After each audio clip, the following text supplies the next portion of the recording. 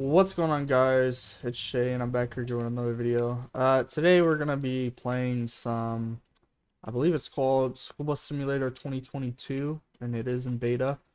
Uh, I have played this game once before. I'm not too much of a fan, uh, though they did have a big update. They've got an updated map, new lighting, new routes, uh, convenience stores, three new buses, um, and a performance improvement. So, how do you? Uh, hold on one second. I'm not sure how to close the door. That's weird. Okay. See, that's why I'm not too much of a fan of this game.